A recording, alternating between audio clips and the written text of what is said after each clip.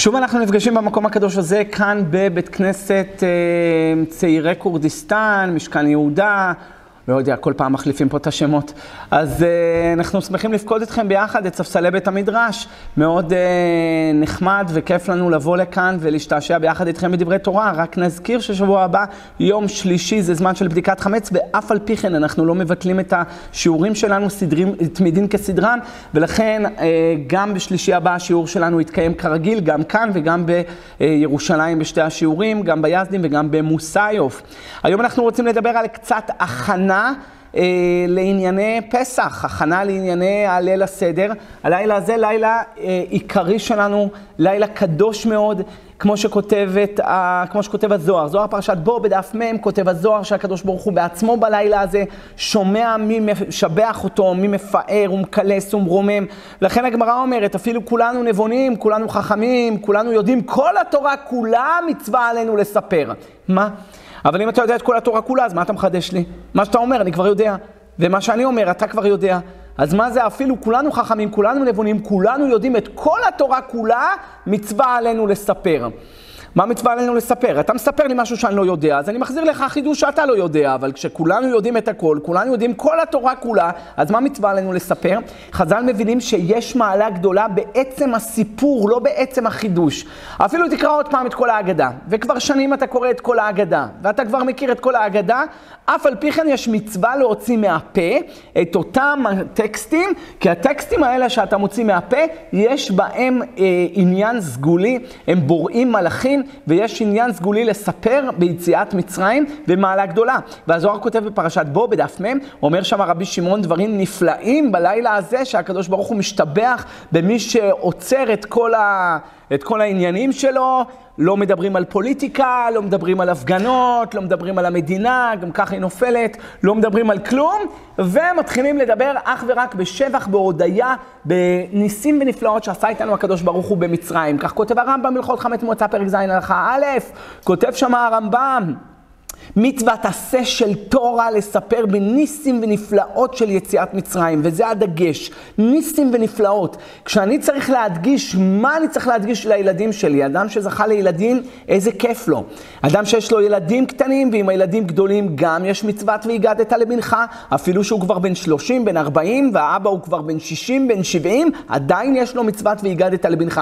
זה לא רק לילדים קטנים שאתה צריך לחנך אותם מה היה במצרים, זה גם לילדים גדולים. מצוות הגדת החלטת לבנך זה בכל גיל, לא רק בילד קטן. וממילא אשריו בן אדם שזכה, שיש לו ילד, שהילד הזה באמת יודע לשאול. היום הילדים כמעט לא שואלים, אני חושב כולם מאופנתים, כולם כבר, uh, אתה רואה שהם לא שואלים. עושים כל מיני שינויים כדי שהילד הקטן ישאל, דיברתי על זה בהזדמנויות אחרות, שלפי ה, הראשונים, זה נקרא מצוות עשה דאורייתא.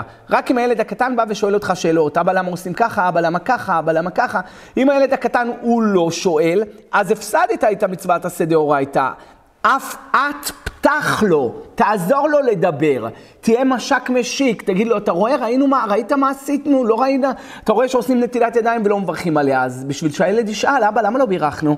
אתה רואה שעושים, אה, לוקחים את הקערה, לוקחים, מזיזים אותה מפה, מורידים אותה מפעם, חותכים אותה מפה, יושבים, עושים כל מיני דברים מוזרים שאף פעם לא עושים אותם כדי לגרום, לגרות את הסף הדמיון של הילד שהוא ישאל. ורק כשילד הקטן שואל, אז אתה מקיים מצוות עשה דאורייתא, שנאמר, והיה כי ישלחה בנך מחר לאמור. אבל אם היא לא ישלחה, מה תעשה? לא זכית באחד כזה.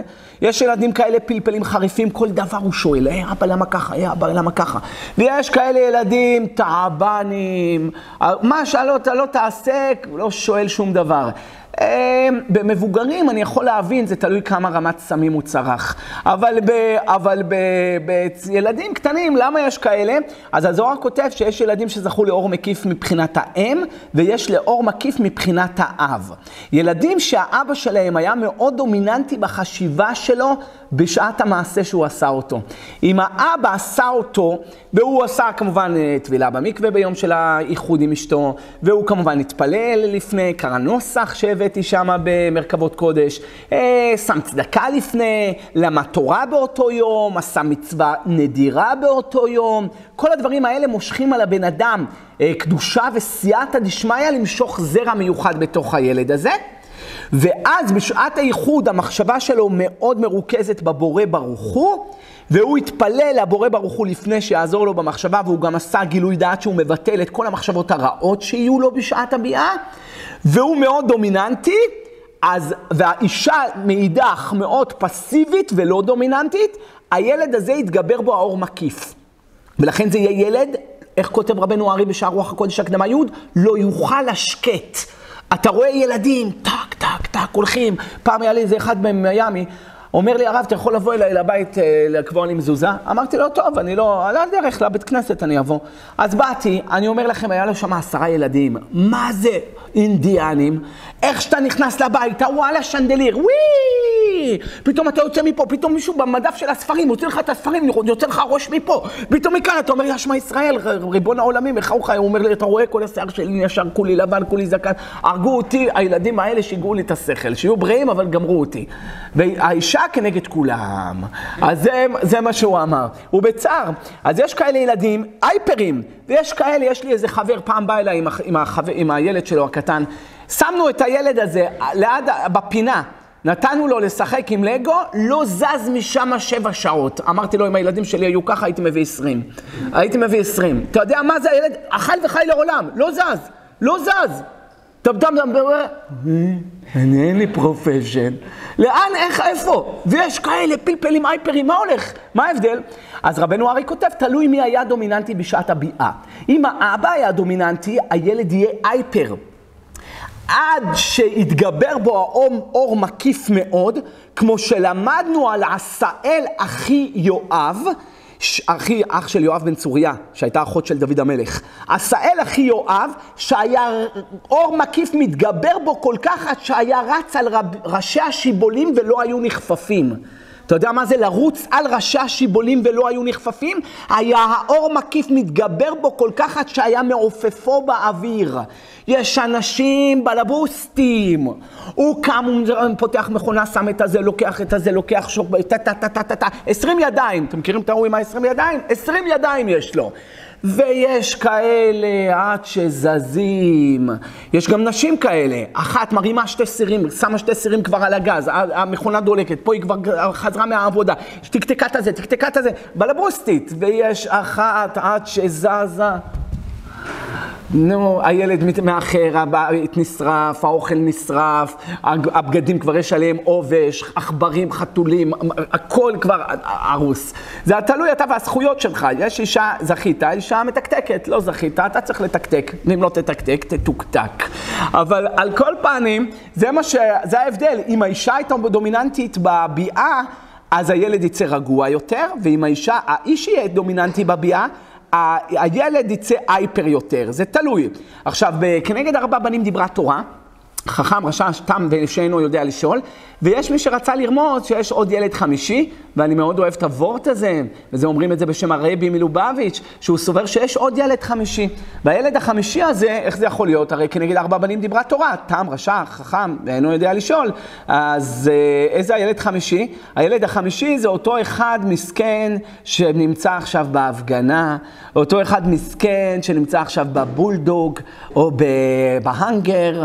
תולים אותו שמה, או אני יודע מה, בכל מיני מקומות, באומן 17, או כל מיני מקומות מרין בשין, הוא לא יודע אפילו שיש אה, פסח, הוא לא יודע אפילו בכלל שצריך לבוא לליל הסדר. זה הילד החמישי, והוא הילד הכי מסכן יותר מכולם, שהוא נמצא שם בחוץ, ואין לו מי שבכלל יקרב אותו. יביע עומר חלק י' בהקדמה, כותב שם חכם עובדיה שאין לך דבר יותר גדול מתלמוד תורה, כמו שהמשנה אומרת במסכת פאה, בדף ב', עמוד א', ותלמוד תורה כנגד כולם. תלמוד תורה אין לך דבר ומידה יותר גדולה ממנה, ואף על פי כן, כותב שם בהקדמה של יביע עומר, ויש יותר גדול מתלמוד תורה. והוא זיכוי הרבים, כך כותב הרב עובדיה, ככה מוכח מהשולחן ערוך, סימן פט סעיף ו', תדקדקו שם את השולחן ערוך ותראו את אותו יסוד. זיכוי הרבים למעלה מהכל. וכשמדינה מזכה את הרבים, הוא מזכה את הרשעים זה סגולה בשבילו להיכנס חופשי לגן עדן. לא, ש... לא שזה מוחק לו את העוונות, אבל יקלו איתו יותר, כמו שכותב הזוהר. שלוש מקורות בזוהר, זוהר תרומה קכ"ח, זוהר חדש בדף ל"א, זוהר לך לך בדף פ"ט. ובכל המקורות האלה אתה רואה, במיוחד הזוהר תרומה קכ"ח, כמה אדם צריך לרדוף אחרי הרשעים, להביא אותם, לקרב אותם, לשלוח יד חמה, לא לדחות אבן אחרי הנופל. אם אדם נפל מה, מהקומה השנייה, והוא נמצא מגוסס, אל תשליך עוד אבן עליו כדי לעשות לו וידוי הריגה. אדרבה, תשלח יד חמה, יד מלטפת, תנסה להחיות אותו, אולי אולי תצליח להוציא ממנו איזה משהו, אם תוציא יקר מזולל כפי תהיה. אם אתה תפוך אדם שהוא זולל וסובה, כמו בן סורר ומורה, תוציא ממנו יקר, דברים יקרים, את הניצוצות קדושה, תוציא ממנו את הנפש היקרה, שהיא זאת שתהיה מאירה ומזדככת, כפי תהיה. אתה תהיה כמו הפה שלי, אומר הקדוש ברוך הוא. אתה תגזור, אני מקיים. אני גוזר, אתה תבטל. אם תוציא יקר מזולל, כפי תהיה. אז ממילא יש לנו מצווה לקרב גם את הילד החמישי לליל הסדר ולהביא אותו לשולחן. רק הבעיה שהרבה פעמים שאנשים מביאים חילונים לליל הסדר, ויש יותר חילונים מדתיים, הלך החג. הלך החג. אז uh, אני כבר לא מדבר על זה, תלוי גם, יש מדרגות של חילונים. יש חילונים שהוא מתבייש להוריד, להוציא את הפלאפון שלו, ויש אחד כזה שזה בשבילו, בוא נעשה תמונה. מה זה נעשה תמונה? זה ליל הסדר, מה איך אתה יכול? אז גם אם מביאים, אז צריך להביא ברמה שאין יותר uh, חילונים מאשר דתיים, אלא צריך לקרב אותם. הבעיה גם שהם מביאים כל מיני מאכלים איתם, כי הם מרגישים לא נעים לבוא לליל הסדר בלי להביא מאכלים איתם. דיברנו על זה כמדומני, דיברנו על זה. אז אני תמיד אומר, תתפוס את המאכלים, תגידו להם, או, תודה רבה. על האוכל שהבאת, זרוק את זה, ואל תיגע בדבר הזה כל עוד אתה חי. למה? כי יש בזה בעיה של אה, אה, חמץ, יש על זה שבעיה של תבלינים, בעיה של אה, ליבון הכלים, אתה לא יודע מה הם עשו שם. אבל אתה צריך סוף סוף להביא אותו, להביא אותו לליל הסדר ולקרב אותו. הבעיה העיקרית כשמביאים כאלה אנשים לליל הסדר זה היין. היין. על היין דיברנו פה? אני לא זוכר כבר, לא דיברנו על היין, דיברנו? אני לא זוכר. אבל, אבל בכל מקרה נזכיר רק שאם אתה מביא אותו, אז לכתחילה כדאי שזה יהיה יין מבושל ולא יין, אה, יין חי. למרות שלפי ההלכה צריך שהוא יהיה חי ואדום ו, אה, אה, אה, ויין משקר. היינו לא יהי מיץ ענבים. אם אתה מביא מיץ ענבים, זה לא לכתחילה, זה בדיעבד. הגמרא אומרת צדיק ז' עמוד א' בבא בתרא, קריבי נא לפחתך. לפך אתה תביא יין ענבים, לאישה אתה מביא מיץ ענבים. לפך, סולטן גדול, חשוב, אתה תביא מיץ ענבים? כלום. לי, הייתי בניו יורק פעם, אז, אה, אז הייתי באיזה מקום, אז הבעלים פתח יין. אמרתי לו, לא, אל תפתח, אני לא שותה יין, אני לא אוהב יינות בכלל. הוא אומר לי, לא, בשבילך, חג שלי, הגעת לבית שלי, מה, אני בוודאי, אני אפתח לך, תציל אותי מגיהינום. אמרתי לו, לא, זה דווקא יכניס אותך, אני לא רוצה את היין הזה. הוא אומר לי, לא, למה, מה יש בזה? אני אפתח בשבילך, פתח לי את היין, ש... אז uh, בירכתי בורא פרי הגפן ושתיתי. הוא אומר לי, מה אתה עושה? אמרתי לו, מה? הוא אומר לי, מה אתה שותה את זה כאילו זה קוקה קולה? אמרתי לו, אז איך? הוא אומר, תסיז את זה, שיתפוס את הארומה של האוויר. אתה יודע כמה עלה לי הבקבוק הזה? שלוש אלף דולר. שלוש וחצי אלף דולר הבקבוק. עכשיו, מה אני אגיד לכם? טעם פח. פח, עבדו עליו, שלוש וחצי אלף דולר. אבל יש כאלה אנשים שיש להם את הרעיון של יינות שיגע, שיגעון. אז לפי הגמרא בבא בתרא צדיק ז', קודם כל צריך שהוא יהיה יין משקר. איי, אבל ראינו אצל לוט ובנותיו, שהם נכנסו למערה, והוא נטע כרם באותו יום, והם עשו את, את, עשו את, סחטו את הענבים, והוא השתכר מהענבים שסחטו באותו יום. וזה לא הגיוני, בגלל שסוף סוף יין כדי לשקר צריך שיעבור עליו 40 יום. הגמרא אומרת יין מגיתו לא משקר, אדרבה, שדה נכנסת בבן אדם ששותה יין מקידו. ס"ז עמוד א' למטה מסכת גיטין, הגמרא אומרת השותה יין מגיתו, שולטת בו השדה שנקראת קורדייקוס. למה היא שדה שגורמת לבן אדם לעשות שטויות מי ששותה יין מהג... מהגת. היינו יין שלא עבר עליו 40 יום. אז לכתחילה, אם אתה רוצה שהיין יהיה משקר, צריך לעבור עליו 40 יום, ואז מתחיל תהליך של התססה בתוך היין, ואז נהיה לו שמרים כאלה אה, מאיימים, והם נמצאים למטה. זה נקרא יין משקר, זה הלכתחילה שיוצאים איתו בליל הסדר, לא מצנבים. הגמרא לומדת על רבי יונה במס...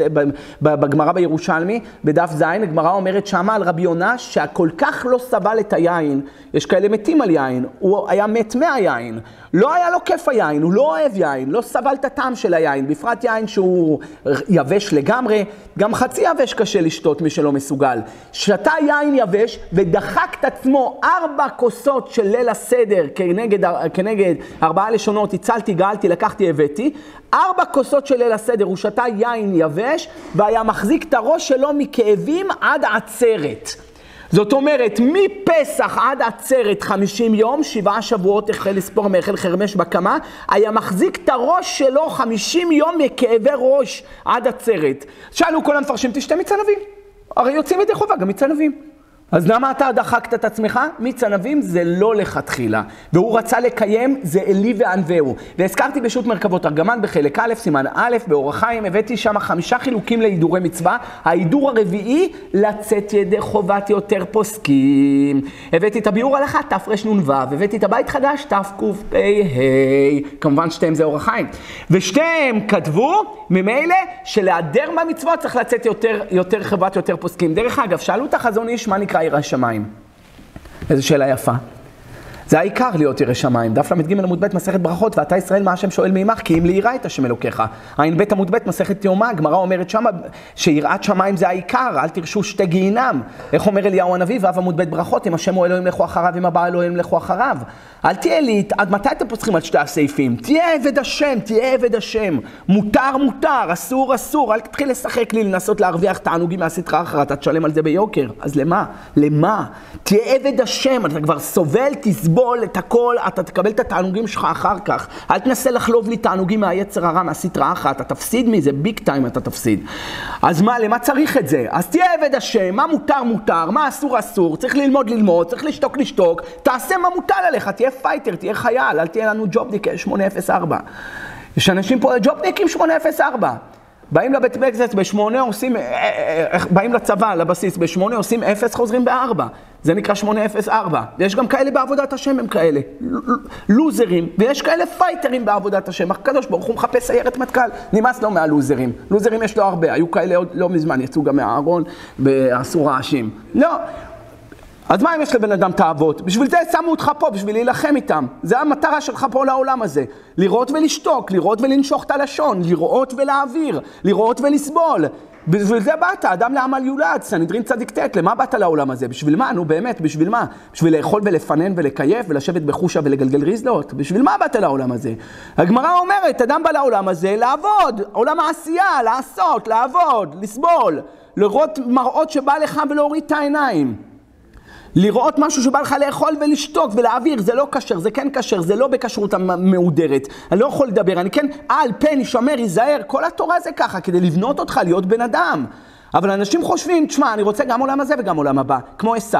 הרי ככה עשו רצה. הוא רצה עולם הזה, לאכול מהנזיד עדשים, להתפנק. הנזיד עדשים זה רק היה מייקרו, זה רק היה מאפיין את האישיות שלו, שהוא רוצה עכשיו. עכשיו, איי, אבל אתה תפסיד את הבכורה, מה אכפת לי הבכורה? עכשיו אני רוצה. עכשיו את הבחורה, עכשיו את הלשון הרע, עכשיו את הסטייק. עכשיו, עכשיו, ובסוף כשהודיעו לו שנגמר הברכות שלו, בא אחיך במרמה ולקח את ברכתך, מה כתוב שמה? כי שמו עשה ודברי אביק ויצעק צעקה גדולה ומרה עד מאוד ויאמר אחי, אחי קרא שמו יעקב ויעקבני זה פעמיים את בכורתי לקח ואתה לקח את ברכתי יקרבו ימי אבל אבי והרגה את יעקב אחי. מה אתה בוכה? מה אתה בוכה? אם אתה לא מאמין בעולם הבא, לא מאמין בברכות, מה אתה בוכה? הוא האמין, ביג טיים הוא האמין. רק הוא בכה כי הוא הפסיד את זה בשביל נזיד עדשים. אתה את העולם הבא שלך תפסיד, תפסיד בשביל נזיד עדשים? מי, מה, מה, בשביל מה הדבר הזה? אז אתה תהיה עבד השם, צריך לבוא לבית כנסת ללמוד, תבוא לבית כנסת תלמד. צריך לבדוק את החמץ, תבדוק את החמץ, צריך לבטל, תבטל, צריך ללמוד תורה, תלמד תורה, צריך להוריד את הראש, תוריד את הראש, צריך לנשוך את הלשון, תנשוך את הלשון. זה עבד השם. ככה מתנהג עבד השם. זה נקרא יראת שמיים. אם היו שואלים אותי, זה מה שאני הייתי קורא. מה זה יראת שמיים? אחד שהוא מבטל רצונו. מפני רצונו, עושה רצונו כרצונו. משנה באבות, פרק ב', משנה א', ככה אומר רבי. זוהי דרך ישרה שיבור לו האדם, והגמרא אומרת שם, עשה רצונך כרצונו, כדי שהוא יעשה רצון אחרים כרצונך. אני עכשיו רוצה, נגיד, שהבוס שלי ייתן לי איזה קידום, או לא יעביר אותי לסניף אחר, או אני רוצה, כל אחד רוצה דברים האחרים. מה אתה רוצה? עשה רצונו, רצונך כרצונו, כדי שהוא יעשה רצון אחרים כרצונך. אתה רוצה שאחרים י- י- יעשו מה שאתה רוצה, זה נקרא יראת שמיים. זה נקרא יראת שמיים. אז עכשיו, שאלו את החזון איש מה זה ירא שמיים. אם היו שואלים אותי מה זה ירא שמיים, אני הייתי אומר יראת שמיים? זה אין רגע שאתה לא חושב על הבורא ברוך הוא. מה הוא אומר עליי שאני אוכל יותר מדי, שאני יושר יותר מדי, שאני לא בא לשיעורי תורה, שאני לא מתנהג יפה לאשתי, שאני מזלזל בילדים. זה נקרא יראת שמיים, אם היו שואלים אותי. אבל שאלו את החזון איש מה זה יראת שמיים, והחזון איש אמר, מי שחושש לצאת ידי חובת רוב סברות הראשונים, זה נקרא ירא שמיים. זה הגדרה ליראת שמיים.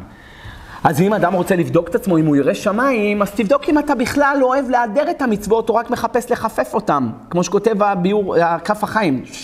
פעם הבאתי לכם אותו, הוא מקסים, קנ"ח סעיף כ"ה, שאם אתה רוצה לבדוק את עצמך, אם אתה יותר מתוקן או יותר מקולקל, תראה אם אתה מהדר במצוות, או מחפש רק, עזוב, עזוב, יוצאים ידי חובה, אני לא הרב עובדיה, יוצאים ידי חובה, אז זהו מספיק לי, מה אני צריך יותר מזה?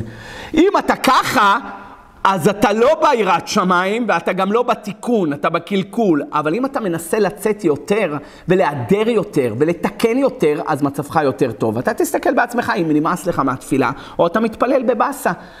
או אתה מתפלל בכיף, בשקוקה, בתענוגים, בגעגועים, בכיסופים. אתה תסתכל איך אתה מקיים את המצוות. אם אתה רק מחכה, יאללה, מתי כבר ייגמר הפסח הזה? מיד איך שיוצא הפסח אתה רץ לפיצה. להביא לך עכשיו פיצה, כאילו מסכן, רחמיו על כל מעשיו, לא אכלת שבוע. אז אתה תראה איך אתה מתנהג במצוות, ואתה תבחין בעצמך לבד. אז עכשיו...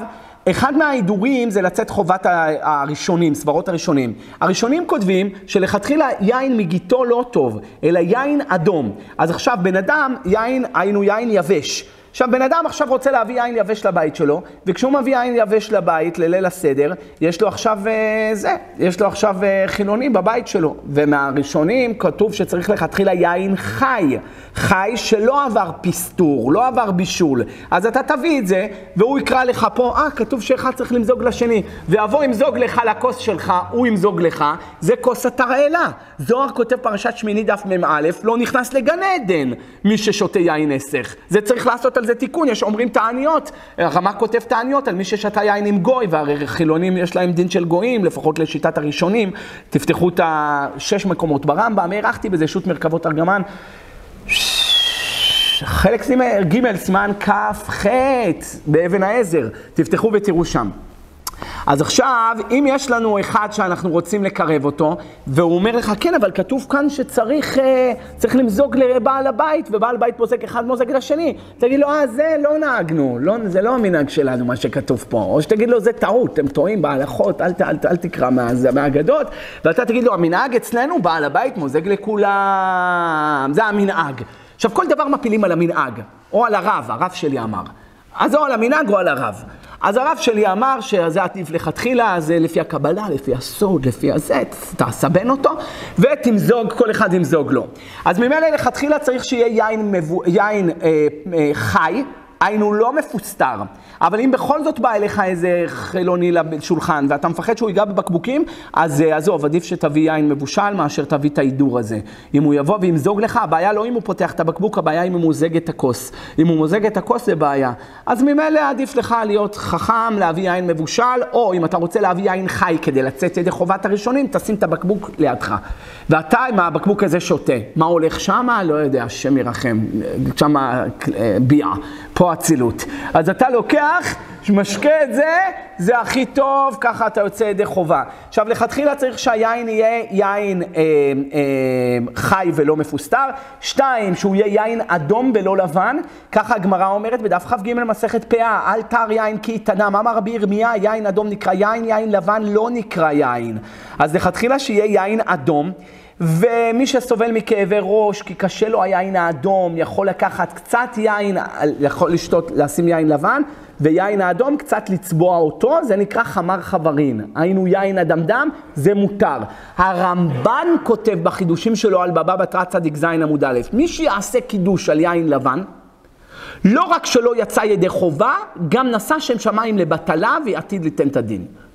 מי שעשה קידוש על יין לבן. הבדלה פשוט שמותר, זה נקרא חמר מדינה.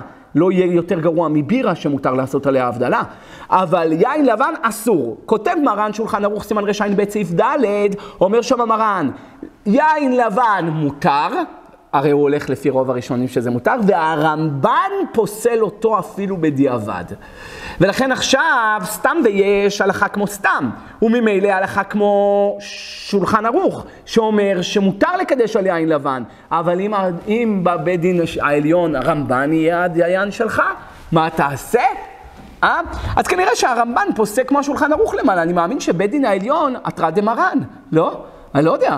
איך פוסקים למעלה? כמו המרן, השולחן ערוך? אני חושב שכן. כמו מלכות הרע, ככה מלכות הדרקייה, וגם זה לא פייר, מה, ואם הרמב"ן אני אפול לידיים שלו, אז מה, בגלל שאני שמחתי על מרן שולחן ערוך? לכן לכתחילה, מילתא דפשיטא, שזה מותר, כי השולחן ערוך אמר שזה מותר.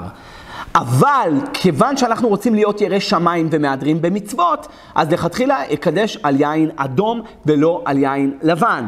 ושוב, אם היין האדום כבד עליו, קשה לו, הוא לא מסוגל, אז מה שיעשה, יצבע את היין האדום הלבן בקצת אדום, זה נקרא חמר חברין. יש צד לומר שהרמב"ן יסכים לחידוש הזה, שביין אדמדם יהיה מותר לשתות אותו. אז זה צריך להיות יין אדום ויין חי, ויין דווקא שהוא חריף ולא מיץ ענבים, זה הלכתחילה. עד כאן שאלות על היינות? אה, אין שאלות על היין? זהו. כל אחד יקנה לעצמו כמה בקבוקים טובים לליל הסדר, אל תפחדו להוציא כספים על ליל הסדר, אני יודע שזה זמן שהרבה כסף מתבזבז, הרבה כסף נופל. בכלל היום, היוקר יאמיר, אתה לא מאמין למחירים שהקפיצו אותם בשמיים, אתה לא יוצא מהעגלה שאתה יוצא ממנה, עגלה יוצא לך משפחה ממוצעת, איזה 3-4 אלף שקל עם המצות שמורות, עם הזה לכל החג, וזה מאוד יקר, אבל חז"ל מבטיחים לנו בדף אה, ט"ו במסכת ב... ביצה, שורה ראשונה, חז"ל אומרים שמה, כל מזונותיו של אדם קצובים לו, מראש השנה עד ראש השנה, חוץ מיום טוב, שבת ותלמוד תורה, ראשי תיבות תיש, תלמוד תורה, יום טוב ושבת. שאם, שאם מוסיף מוסיפים לו, ככה אומרת הגמרא, שמי שיוציא לכבוד היום טוב, יהיה לו ברכה. לפי הזוהר, זוהר uh, בתיקונים, תיקון י"ט, דף ל"ח, כותב הזוהר, אם מוסיף מוסיפים לו, אם גורע גורעים ממנו. ולכן יש עניין לענג את השבת, לענג את היום טוב. תלמוד תורה, איזה כסף אתה מוציא על תלמוד תורה? בית כנסת חינם, מי רוצה ברוך הבא? איזה כסף אתה מוציא על תלמוד תורה? כן, אבל אני קונה ספרים, 700 שקל סט. מה? אני קונה ספרים. אני קונה ספרים, יקר, זה הקדוש ברוך הוא מחזיר. זה נקרא הוצאות של תלמוד תורה. זה הוצאות של תלמוד תורה. אני לוקח את הילדים שלי לתלמוד תורה, תלמוד תורה זה לא חינוך חינם. בממלכתי של ה... מה שהמדינה מספקת זה חינם, אבל אתה לוקח את הילדים שלך לתלמוד תורה שהוא בחינוך uh, עצמאי, זה עולה כסף. ואם יש הסעה זה עולה כסף, וכל הדברים האלה עולים כסף. תלמוד תורה, כל מה שקשור לתלמוד תורה, הקדוש ברוך הוא מחזיר. לשבתות, מה שאתה מוציא, הקדוש ברוך הוא מחזיר. ימים טובים, הקדוש ברוך הוא מחזיר. ואם תתקמצן, גורעים ממנו. הגמרא אמרה רק שנותנים, אבל מהזוהר עולה גם שגורעים אם הוא יתקמצן על הימים טובים. ולכן אל תתקמצנו, הקדוש ברוך הוא מחזיר בשפע, בעין יפה, בעין נדיבה. ולכן יש גם עניין לתת קמחא דפסחא לפני פסח. הארכתי בזה, עשיתי על זה שיעור, כתבתי על זה תשובה, ויש עניין. היה איזה אחד פעם אחד נסע הברית לאסוף כסף לישיבה. אז הוא אוסף כסף לישיבה, אז הוא בא לאיזה גביר אחד, שכל פעם שהוא מגיע הוא מביא לו הגביר אלף דולר. טוב, אז הגביר מביא לו אלף דולר. עכשיו, הבעיה, מה שיש פה בעיה אחרת, מה שקורה בגבירים כאלה, הם מביאים בדרך כלל את אותו, את אותו סכום שהם הביאו בפעמים הקודמות, אלף דולר. טוב, ההוא בא, אומר לו, אתה מביא לנו בבקשה תרומה לישיבה, כמו תמיד, אלף דולר? אז הוא אמר לו, תשמע, השנה אני לא יכול להביא לכם אלף דולר, המצב על הפנים, ירדו המניות, עסקים התמעטו, סגרתי סניפים, אין כסף, אבל את ה... לישיבה אני לא יכול לתרום, אבל את החלק שלך אני אביא לך. כתב לו צ'ק על 250 דולר, 950 דולר. 950 דולר? אז הוא אומר, למה הבאת לי 950 דולר? אמר לו, תשמע, לישיבה אין לי כסף לתת, אבל מה שאתה לוקח כל פעם לכיס שלך, זה אני לא רוצה להפסיד אותך, אז את ה-950 דולר הרגיל, מה שאתה לוקח לכיס שלך, אני כבר נותן לך, שלא יהיה לך, לא לך. תדעו לכם שזה חמור מאוד מה שקורה עם כל ההתרמות האלה. לפי ההלכה מותר לו לקחת 49% מה, מהתרומה. אתה יודע מה זה? זה לפי ההלכה. זה נקרא רוב תרומה הולך לבעלים. אז אם אני נגיד עכשיו בא לארצות הברית, ואני אומר, תשמעו, אני צריך כסף אה, למקווה שאני רוצה לפתוח, או אני צריך כסף לעניים, או אני צריך כסף לנזקקים, אלמנות, יתומים, בית תמחוי, סנוקר. אז עכשיו, מישהו הביא לי 100 דולר, 49 דולר פה, ו-51 הולך, לה, הולך לעסק. אז עכשיו מה תעשה? תתן תרומות כאלה? אז למה, לא פלא שיש בעיות. ולכן הכי טוב, אתה רוצה, אתה רוצה להביא תרומות ישר לבן אדם, או יש לך בן אדם שאתה סומך עליו, תן לו ישר, הוא יחלק. אבל אל תביא את זה דרך מתווכים, למה הוא מוריד את הנהג שלוקח אותו את כל הקו. הרי הנהג יודע איפה הגבירים. הנהג לוקח אותו את הקו, ואחר כך הוא מוריד את הכרטיס טיסה, מוריד את האוכל, מוריד את הזה, מוריד את הזה. מה שנשאר, אז הוא מביא לישיבה, כמה כבר נשאר לישיבה, כמה כבר נשאר לכולל, אז צריך אה, להיזהר בזה. בכל מקרה, רבותיי, אה, כשאדם אה, מארח את האנשים לבית שלו, אז אה, בבקשה, זה צריך להיות בשמחה, בגיל, יש כאלה, אני לא יודע איזה מנהג זה, זה כל כך מנהג, בעיניי כל כך מקולקל, שאומרים לך, תוריד את הנעליים בכניסה לבית. מה זה תוריד את הנעליים בכניסה לבית? לא יודע, מה זה הדבר הזה? אני לא מבין את הדבר הזה. ואם, ואם יש בן אדם, יש לו ריח רגליים, ב, ב, ב, יש לו ריח, מה זה ריח? זבובים נופלים.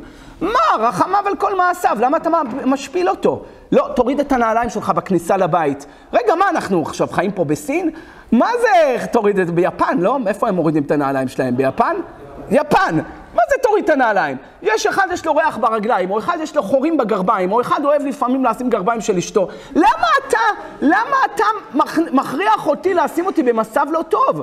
הגמרא אומרת בדף ה' מסכת חגיגה, שמביא לאדם, אה, הקדוש ברוך הוא בא, בא בדין, הוא, אה, עם כל אחד ואחד, על הכל יביא האלוהים במשפט, על כל נעלם. אפילו ירק וחבר שלו נגאל, יביא את זה במשפט הקדוש ברוך הוא. אדם בא אליך לבית, אתה תגיד לו, תוריד את הנעליים? הסירחון של הנעליים שלי, אני לא רוצה להוריד את הנעליים, או אני לא מרגיש לא בנוח, או לא, יש לי עכשיו חורים בגרביים, או גרביים של אשתי.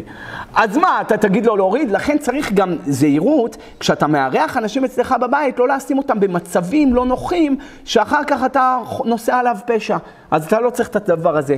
גמרנו עם היינות, הבאנו את היינות, ברוך השם, היה מאוד יפה. איך שהבאנו את היין, גמרנו את כל הסוגיה הזאת, וצריך אדם לשטוף את הכוס בין כוס לכוס, וגם למזוג אחד לשני, כי כך דרך בני מלכים. ובליל הסדר אנחנו שמחים ומכבדים אחד את השני. אחרי שגמרנו עם היינות, יש לנו את המצה. שלכתחילה כמובן כל אחד צריך להשיג מצה אה, אה, שמורה, ומצות שמורות עולות קצת יותר יקר, אבל אם אתה תאכל מצה מכונה, לא יצאת ידי חובה. אז מצה, אה, אה, לפי ההלכה, ארבע כזיתות, לפי החזון איש מוסיפים עוד כזית אחד. אני אישית לא מוסיף את הכזית, גם ככה בטן מלאה. ומאוד כבד עליי לאכול עוד כזית, אבל אני יוצא ידי חובה לפי הפוסקים, לפי רבותינו, השולחן ערוך, ארבע כזיתות, כמה זה כזית? מחלוקת אחרונים. בין 17 גרם ל-32 גרם. אנחנו תופסים שיטה אמצעית 28-30 גרם. לכתחילה, בן אדם הכי טוב, אמרתי את זה כבר אלף פעם, כל שנה אני חוזר על זה. תשקול את זה במשקל, ותלך, אני מדבר על הלפני החג. במשקל דיגיטלי, או בחג עצמו במשקל מכני, ותדאג שיש לך 30 גרם, שים קצת, שים עוד קצת, תשים עוד קצת, תיקח ניילונים של סנדוויץ', סגרתי. הנה פה עוד 30 גרם, סגרתי. ליד כל צלחת אצלי, אני שם של... אה, ארבעה אה, כזיתות של מצה, אני שם שם את החסה, כל אחד יודע, אני צריך לגמור את זה. צריך לגמור את זה. הייתי פעם אצל איזה אחד, היום אני אגיד לכם, אכל שתי קילו מצות. יצאתי ידי חובה או לא יצאתי ידי חובה? יא חביבי, טחנת פה כמו איזה מטחנה של שתי קילו מצות. יצאתי או לא יצאתי? והוא כל הזקן שלו אוכל יחד איתו, וכל הרצפה שם. מה? למה? בשביל מה צריך את זה? אמרתי את זה במיאמי, תביאו, תשקלו. אז שואל אותי איזה אחד, איך אני אשקול? אמרתי לו, משקל של גרמים. אז הוא אומר, אה רבנו, אני דווקא יש לי משקל של גרמים, אז אני אטפל בזה. אז... Uh, גמורים שם. בכל מקרה, אז uh, לכתחילה צריך כמובן לעשות את המצה, והמצה צריכה להיות מצה מכונה. יש כאלה שנהגו לקחת מצה של, uh, מצה uh, קמח מלא, זה לא משנה. העיקר שזה באמת יהיה מצה שהיא עבודת יד. נכון, לכתחילה כדאי וראוי לקחת מצה שנאפתה אחרי חצות יום של ערב פסח. זה הלכתחילה, כי מחלוקת רש"י ר"ן לגבי הסוגיה, ולכתחילה עוד הפעם, ירא שמיים יצא ידי חובת כולם. לא יודע למה הם מוכרים את זה ביוקר מטורף, אבל אני חושב שלוש מצות 200 שקל? כמה מוכרים את זה? שלוש מצות 200 שקל, וכולה מה יש בזה? בסך הכל קמח ומים. אבל שלוש מצות 200 שקל, ואנשים באים לקנות, כי אנשים ירא שמיים ויודעים שהקדוש ברוך הוא מחזיר את ההוצאות של ימים טובים. אז שלוש מצות, ייקח שלוש מצות, ועל המצות האלה יקדש, אלה... המצות האלה הוא צריך לאכול אותם כדי לצאת ידי חובה. עכשיו, ייקח יותר משלוש מצות, כי אם הוא קונה רק שלוש מצות, את איזה הוא יחתוך כמו ו'? ושום, כולם דמיוניים. אומר לו, מה עשית? אתה לא רואה פה זה ו'? הנה, כאן, אתה רואה? הנה, זה ככה, חתכתי שם ו'. והוא אומר, הנה, זה ד'. הוא אומר לו, אני לא רואה פה כלום, איפה ד'? מה, אתה לא רואה, הנה, זה פה, וכאן זה ד'. אז יש מי שאומר, לא, ד' וו' יכוון בראש שלו, כי אי אפשר לעשות את זה בדיוק ד' וו'. ויש מי שאומר, יעשה מה שמסוגל לעשות. אבל אם אתה עושה לי את הלפני החג, אתה עושה את השקיות האלה, אז על איזה שלוש מצות אתה תקדש ותעשה את האפיקומן ואת הכל? אז, אתה צריך מצות שלמות, ואתה חותך את אלה.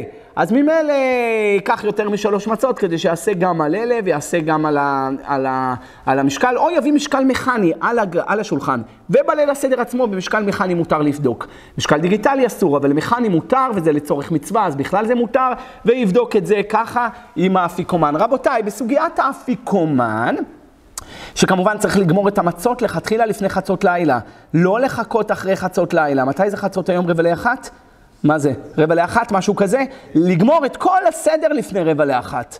אל תגמרו אחרי רבע לאחת, כי אתם מכניסים את עצמכם למחלוקת בפוסקים, ולכתחילה, לכתחילה צריך לגמור לפני רבע לאחת, זה גם כן סברות הראשונים, סימן תפ"א, ואחרי רבע לאחת יהיה אסור לו כבר לאכול כלום, וגם לא לשתות יין, הוא גמר את, המצווה של ההלל, הלל נרצע, גמר את זה, שותה את היין ודי. מותר לו לשתות רק דברים בלי טעם, כמו תה בלי סוכר או כמו מים. ולא הולך לישון, זה הלכה פסוקה בשולחן ערוך ואני לא יודע למה אנשים לא מקיימים אותה. כמובן שצריך לקרוא קריאת שמע על המיטה, עם כל הסדר של קריאת שמע חוץ מהביטוי, הגם שזה ליל שימורים, לילה הבא הוא משומר מששת ימי בראשית ואין בו מזיקים, כדי מוכח בגמרא ק"ח פסחים וי"א ראש השנה, אז לכאורה, אם כל מה שאומרת הגמרא בברכות דף ה' עמוד א', למה קוראים קריאת שמע על המיטה להגן מהמזיקים? ליל שימורים אין מזיקים. אז לא צריך לקרוא קריאת שמע. זה לפי הפשט, לפי הקבלה, קריאת שמע היא נשגבה ונוראה, התיקונים והייחודים שהוא עושה, לפני חצות לילה לקרוא את הקריאת שמע. האם אתה באמצע הסדר? תעצור, תעשה את הקריאת שמע, בפרט אם התפללת מבעוד יום. אתה צריך לעשות את הקריאת שמע, ואז אחרי הליל הסדר אתה יכול להישאר ער כל הלילה. מה זה יכול? זה ההלכה. ולא יירדם עד שתחטפנו שינה. זאת אומרת, אתה נכנסת למיטה, נגיד, הלכת לישון, ברמת העיקרון זה צריך להיות אחרי רבע לאחת שגמרנו את הכל, ממשיכים להישאר כל הלילה ערים. מה עשה ברבי טרפון ורבי אלעזר בן עזריה ורבי עקיבא ורבי יהושע היו מסובים בעליית בית ניצה בלוד. אה, היו עוסקים כל אותו הלילה, היו עוסקים, למה כל אותו הלילה? זה המצווה כל הלילה לעסוק. עד שתחטפנו שינה, אין דבר כזה, יאללה, גמרנו, אני הולך לישון. אין, אתה צריך להירדם, אז מה אני ארדם על השולחן? אז לפחות אם אתה נמצא במיטה וגמרת את הכל, אל תירדם סתם. תיקח קצת, אני יודע מה, מרכבות ארגמן, על אה, פרשת שמות ואירע, שם מדבר על יציאת מצרים, תקרא, תקרא עד שתירדם. אם אתה לא רוצה להירדם, תיקח מרכבות הגמול, תראה מה מחכה אחרי המוות, כפקלה, בכתל מז'אנה. מה שמחכה לבן אדם אחרי שהוא נפטר מהעולם, או תקרא, תקרא קצת על חיבוט הקבר, או... או שתקרא את הכתובה שלך, ואז אתה בכלל תישאר ער, אחרי שאתה רואה שאתה תקוע אה, אה, שר עולם.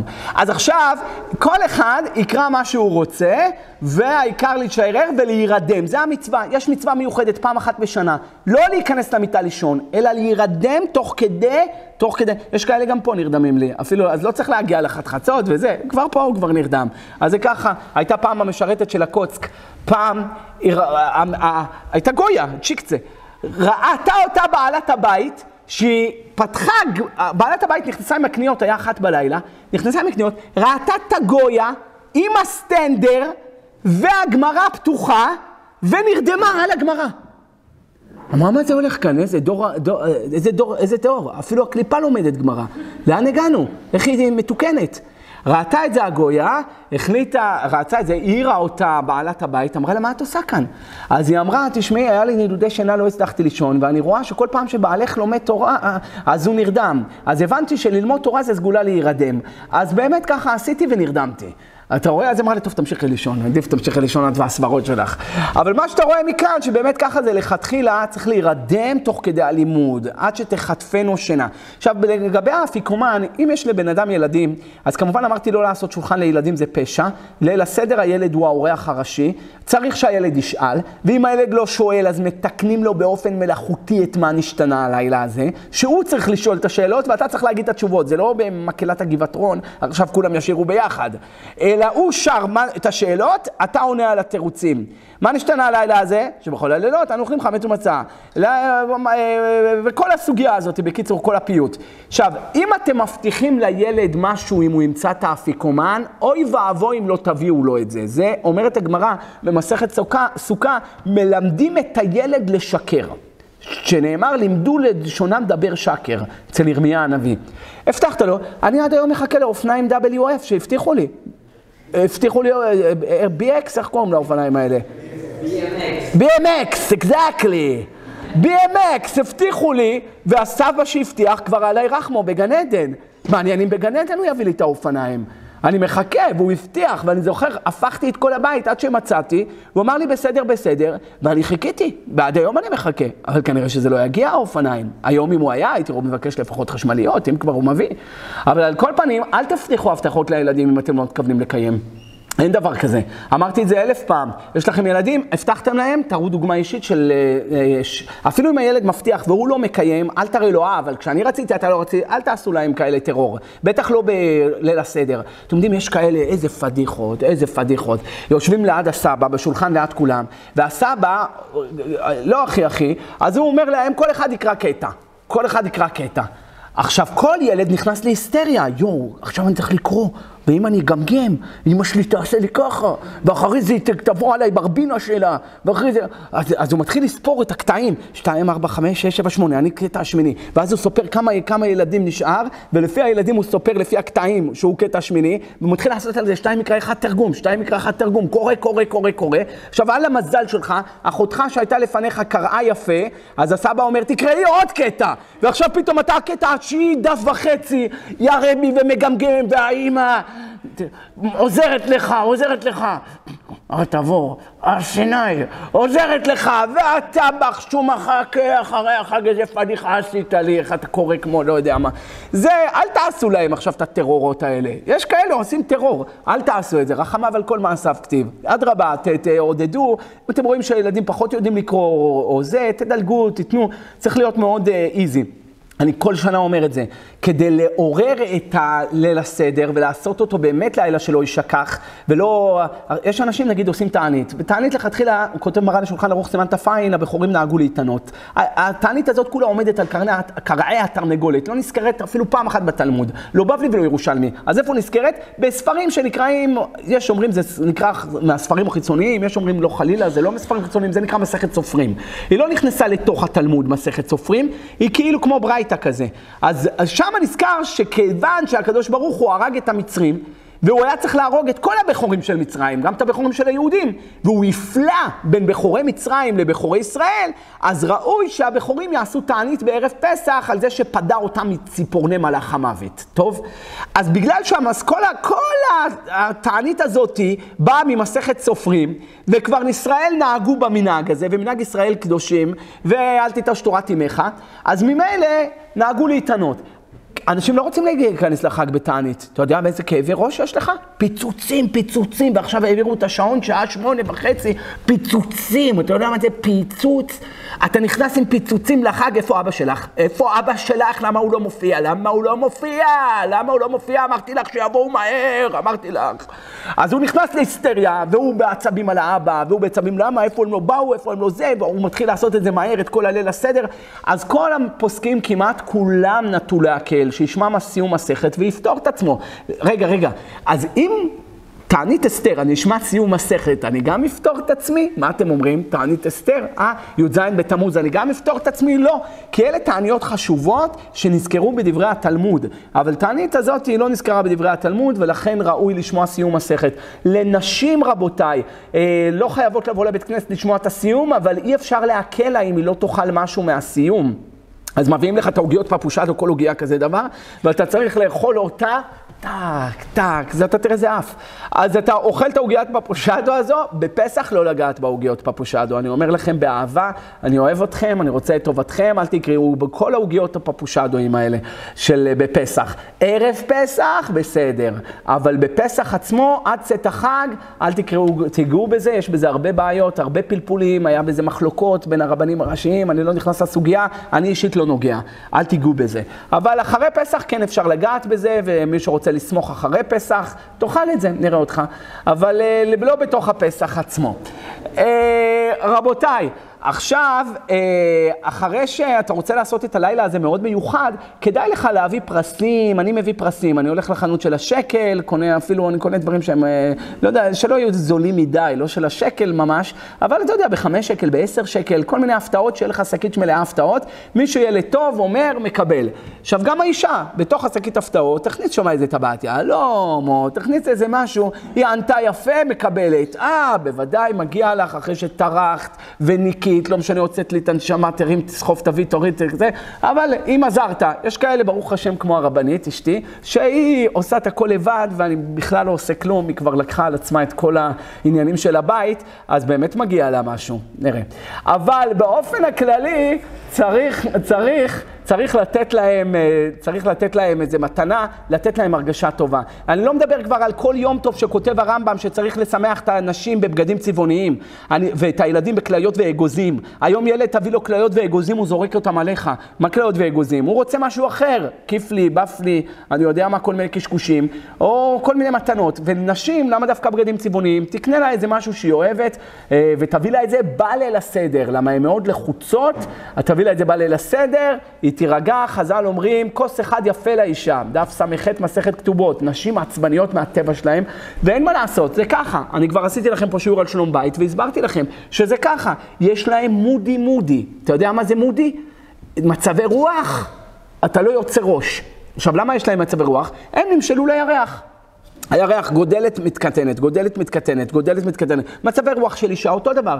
לפני הדגל אדום, אחרי הדגל אדום, לפני פסח, לפני חנוכה, אחרי שהיא אירחה, לפני שהיא אירחה, אחרי שזה, כל הזמן מצבי רוח. אין עם מי לדבר, אתה, לא, אתה, מנסה, אתה מנסה לתפוס uh, מסלול. בא לך הפתעות מכל הכיוונים, מה שלא תעשה, lose-lose situation זה נקרא. אז עכשיו, אתה צריך להבין ולקבל ולהוריד את הראש, ולהבין שזה ככה הקדוש ברוך הוא ברא אותה. לפני ההיריון, אחרי ההיריון, בהיריון, שלושה חודשים ראשונים, שלושה חודשים אחרונים. אחרונים, אחרי דיכאון הלידה, דיכאון אחרי הלידה, דיכאון לפני ראש השנה, דיכאון אחרי ראש השנה, דיכאון לפני אחרי, אחרי זה. אתה לא תצא ראש איתם. אז ממילא צריך לכבד אותם, להעריך אותם, ולהבין ככה הקדוש ברוך הוא ברא אותה, ככה אתה תכבד אותה ותביא על עצמך שלום בית אה, בצורה כזאת. אבל כוס אחד יפה לאישה, חז"ל אומרים, זה טוב לתת לאישה כוס אחד. שתיים, ניבול. מצחקקת לא יפה, מדברת לא יפה, זה לא שייך ששתי שתי, שתי כוסות, אני מדבר על כוסות של יין יבש, שתי כוסות יין יבש, תתנהג לא יפה. שלוש, טובעת בפה, תקע ותפלות שלה, סוטה אה, כ"א, וארבע, אפילו חמור טובעת בשוק. אז כולם הקשו את קושיית המחץ, והסברתי אותה הרבה פעמים. דף ק"ח, מסכת, ק"ט, מסכת אה, פסחים. רבי יהושע בן לוי אומר, נשים חייבות בארבע כוסות בליל הסדר. למה? כי גם הם היו באותו הנס. גם הם יצאו ממצרים. רגע, מה, מה? פסחים, נשים חייבות בארבע כוסות בליל הסדר. כתובות, ארבע, אפילו חמור טובעת בשוק. אז איך זה יכול להיות? מה? תקנו לה ארבע כוסות בליל הסדר כדי שהיא תטבע חמורים בשוק לדבר עבירה? הבן איש חי אומר לא חמור, אלא גוי, גוי, בשר חמורים בשרם, זרימת סוסים זרימתם. תטבע גוי לדבר עבירה בשוק. אה, אבל ארבע, אפילו חמור טובעת בשוק, אז איך תיקן לה רבי יהושע בן לוי לשתות ארבע כוסות בליל הסדר? הגמרא מתרצת, אימת בעלה עליה. היא מפחדת מבעלה. בעלה עושה, אמ, אמ. והיא... היום אין מושג כזה אימת בעלה עליה, יש מושג אימת אשתו עליו, היא עושה לו... אז הוא. כן אשתי, הכל כן. איך אמרו, כל מה שהיא אומרת תגיד שהיא צדקה. צדקה, צדקה, צדקה, למה צדקה תציל ממוות? צדקה תציל ממוות, תהיה הכי טוב, הכי לג'יט, פשוט תעביר, תלמדו לא לעשות, לא לעשות דרמות. תלמדו, תלמדו, תלמדו. כל הזמן, לא לעשות דרמות, פשוט להעביר, פשוט לשתוק, פשוט, איך אמר רבי עקיבא קכ"א יבמות, כל גל שבא מהראש שלי, נהנתי לו בראשי. תנענע עליו בראשך, כל גל, עד יעבור זעם. אין מה לעשות, אל תנסה לתקן, וראית כבר עשר שנה אתה נשוי, זה לא יעזור, אתה רואה שאי אפשר, אז, אז תלמד, את ה... תלמד את המסקנה. בכל מקרה, רבותיי, אה, אה, בליל הסדר, אם אתם אה, מבטיחים הבטחות לילדים הקטנים, כדאי מאוד לקיים אותם, והכי טוב להביא כל מיני סוכריות, ממתקים, או לחילופין פרסים. גם צריך להביא מתנה לאישה ולהפתיע אותה, בא ליל הסדר לפני הקידוש, זה מוריד לה את כל העצבים. גם הוא מביאים לו מים אחרונים חובה. אז מים אחרונים חובה, צריך להוא ולאי. אז uh, צריך לעשות משהו, לקנות, תלכו תקנו, זה לא צריך להיות משהו יקר, הקטן לפי קוטנו והגדול לפי גודלו, כל אחד ימצא משהו שאשתו אוהבת, ילך יקנה אליי איזה משהו. אחד אמר לי, קניתי לה שואב אבק. אמרתי לו, מה זאת אומרת? הוא אומר שיהיה לה קל לנקות. אמה, אמה שכמוך, זה מה שאתה קונה לשואב אבק, מה היא לכלוכית? מה, אתה לא מתבייש? מה, היא שפחה שלך? קניתי לה שואב אבק, אתה מבין? צריך לקנות לה משהו בשבילה, בגדים, תכשיטים, אני יודע, הן אוהבות את זה, כמה שיש להם זה לא מספיק אף פעם. אז אה, זה, זה לכתחילה. עכשיו, חוץ מזה, רבותיי, אה, עיקר, עיקר לב ליבו של הלילה הזה זה ההגדה של פסח. אז באמת בהגדה של פסח יש המון על מה לדבר ולהרחיב, ואני מציע באמת בלב לב אוהב, שמי שבאמת, אני לא אומר את זה בגלל אה, שאני כתבתי את זה, אבל אני חושב שמי שיש לו את הספרים שלי על התורה, על התורה, זה שלושה כרכים, אז שיפתח את הפרשיות של שמות וירא בו בשלח, יתרו, אלה פרשיות שמדברות על, על יציאת מצרים. ויקח את ויסמן לפני החג, יסמן את החידושים היפים, המתוקים שהוא אוהב אותם, כי הכל זה חידושים קצרים, שוקולד, מרמלד, מעמול, מערות, רחת לוקום וטורטית. אז הוא יסמן את זה, ובליל הסדר יהיה לו חידושים חדשים. למה כמה אפשר עוד פעם לשמוע את אותם החידושים שלך? אז הכי טוב, יהיה לך חידושים, מאגר של חידושים. ככה תוכל להגיד אותם. מי שהוא יותר רוצה להיות sophisticated, יותר מעניין, אז תמיד יעשה שאלות. אני תמיד אומר, שאלות, אנשים אוהבים לשאול שאלות, תמיד אני מביא את אותה דוגמה, אם נולדו שישה בכרס אחד, איפה עוד חמש משה רבנו? איפה עוד חמש משה רבנו? איפה עוד חמש מרים? איפה עוד חמש אהרון? בואו תשאלו את שאלה כזאת בליל הסדר. מעניין, זה מעניין. עכשיו כל אחד יגיד לך, לא, זה היה לפני הגזרה, זה היה אחרי הגזרה, זה משה, הוא היה מעל הטבע, כל מיני קשקושים. אז תגיד לו, נכון, נכון, ת, אל תשפיל אנשים, תמיד תרומם אנשים. להשפיל זה קל. תמיד תרומם, פש, איזה חידוש. זה אפילו הרב שך לא היה יכול לחשוב על חידוש כזה. מה אני אגיד לך, איזה חידוש, אפילו בן איש חי לא היה חושב על דבר כזה. כמו שאמרתי לכם פעם, בדף ז' עמוד ב' מסכת מגילה, הגמרא אומרת שמה, ורבא ורבי זעירא יאהבו יתווה בפרויה בעדי הדדי. קם רבה שחטה לרבי זעירא, שחט אותו. הרג אותו, שחט אותו לגמרי, הרג אותו. עכשיו, כל, כל המפרשים שואלים, בגמרא לא אומרים שחטה, שחטה זה בהמה שוחטים, אומרים קטלה. מה זה שחטה? אז הבן איש חי אומר, סחטה, סחט אותו, וההוא רקדו, רקדו, רקדו, וסחט אותו, אחד אמר. הבן איש חי אמר, סחטה כמו סוחט ענבים, לימד אותו סודות התורה עד שנתנתקה נשמתו. הבן של, הגאו, הבן של הרמב"ם כותב, רבי אברהם, בהקדמה לעין יעקב, הוא כותב, עשה לו פציעה חמורה. בקיצור, כולם דחקו. עד שבאתי לתל אביב, הגעתי פעם לתל אביב שם, סיפרתי את ה... זה בדיוק דרשה של פורים. בא אליי איזה אחד, אומר עם רסטות כאלה, אנטנות, קולטת על ג'זירה, קולט על ג'זירה וזה, בא אליי, אומר לי, תאמין לי הרב, אתם לא הבנתם את הגמרא? מן. עכשיו, לך תיכנס לתדרים שלו. אמרתי לו, אז אולי אתה תסביר לנו את הגמרא? מן. אז הוא אומר לי, אתה יודע מה זה שחטה? נתן לו שחטה! נתן לו שחטה, וההוא לא היה רגיל בחומר, התפוצץ לו וריד! אמרתי לו, תראה מה זה, אפילו בן איש חי לא חשב על החידוש שלך. כל אחד מעולמו מביא, כל אחד מביא מעולמו. בן איש חי דיבר על סודות התורה, ואתה על השחטות, טוב מאוד. כמו שזה אחד, אומר לי, הייתי שם, באותו מעמד, זה היה באותו מעמד. בא אליי, אומר לי, הרב, תגיד לי, אתה חושב שאתה, יש לך זיכרון? אמרתי לו, אני לא אמרתי שיש לי זיכרון. הוא אומר, מה, אתה יודע מה זה אני? לפני שאני הייתי עם הסמים, מחקו לי הסמים את הזיכרון. אני, היה לי זיכרון, זיכרון. לפני הסמים, אתה יודע איזה זיכרון היה לי? היום אחרי הסמים, המוח שלי הפך לפירה. אני כבר מדבר עם בן אדם, תוך כדי השיחה שוכח כבר מה אני מדבר איתו. אמרתי לו, מה אתה אומר, באמת? הוא אומר לי, על מה דיברנו? אה, הלכה למעשה. אתה רואה, עוד זה מדבר וזה מה, מה לתגנה? טיק צ'ק. אבל בכל מקרה, מה שיצא מכאן, שהלב ליבו של הלילה, זה כמובן ההגדה. ולא סתם נקרא לשון אגדה, אגדה פירושו משיכה. נער דינור נגיד ונפיק, תמשוך אותם. אם יש לך בדיחות, זה בסדר, אפשר לספר קצת מילתא דבדיחותא, עשינו על זה פה שיעור נקרא שמחת חיים, על כל סוגיית הבדיחות בשיעורים, בדברי תורה, אני בעד. אז בדיחות, תגיד. אם, כמובן דברים צנועים, דברים ראויים, לא דברים הזויים. ואם יש לך, אני יודע מה, אה, אה, שאלות מעניינות, כמו איפה עוד חמש משה רבנו, מה השאלה? מה התשובה? מה התשובה? איפה עוד חמש משה רבנו? שכתוב שמה שכאשר יענוהו כן ירבה וכן יפרוץ. אז ילדו שישה בכרס אחד. אבל שבט לוי לא עינו אותם, אז לא קיים בהם הברכה של שישה בכרס אחד. ולכן הם ילדו אחת אחת בכרס. ולכן משה רבנו לא היה עוד חמש, וגם לא אהרון עוד חמש, ולא גם לא עוד אה, אה, מרים חמש, מרים, לא היה. אבל אה, שאלות, כל מיני שאלות מעניינות, אני תמיד מביא אה, דוגמאות. דוגמה, אה, הרמנו סלומון ענק מהים, ובתוך הסלומון היה חתיכה של שרימפס. מותר לאכול אותו או לא? מותר או לא? לא. אה? ואם הפוך, הרמתי כריש, בתוך הכריש חצי דג סלומון, הוא נתן לו בית והרמנו אותו. ועכשיו נמצא חצי דג סלומון בתוך הכריש, מותר לאכול אותו? שאלות, לא, דווקא אין מחלוקת, לא כל דבר הג'וקר הזה יעזור לך. אבל, אבל, אבל, אה, ההלכה, השרימפס יהיה אסור והסלומון יהיה מותר. זהו זה. למה לא צריך דג, לא צריך שחיטה, ומה חתך אותו, השיניים של הכריש, בסדר, ובעין אתה עדיין רואה את הדג סלומון, את הבשר שלו, מותר לך לאכול את זה, אפילו שזה היה בתוך בטן של כריש.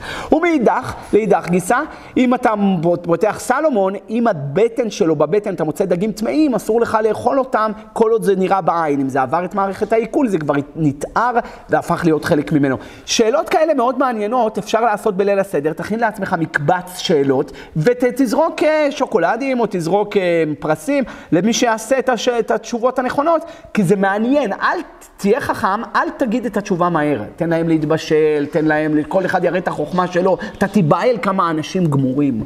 אתה תיבהל, תראה תשובות. אה, אה, מה אני אגיד לך, יש אנשים, פותח את הראש, חוט מחבר בין האוזניים, חוץ מזה נדה דנדה. אבל יש דברים כאלה. בכל מקרה, רבותיי, כמובן, עוד הפעם, תמיד להרים את האנשים, פש, איזה תשובות, תרים להרים, גם את האישה, גם את הילדים, בלי ביקורות, בלי ביקורות, תמיד להרים, זה העיקר. אה, בכל הסוגיה של הגדה ומה שמשתמע ממנה, אנחנו בלי נדר נעסוק בשבוע הבא, כמו שאמרנו, שיעור כרגיל, הקדוש ברוך הוא יגזור עליכם ועלינו גזרות טובות, מי שרוצה ספרים שלנו ו-USB נמצא אצל אהרון בחוץ, יראו עינינו, ישמח ליבנו.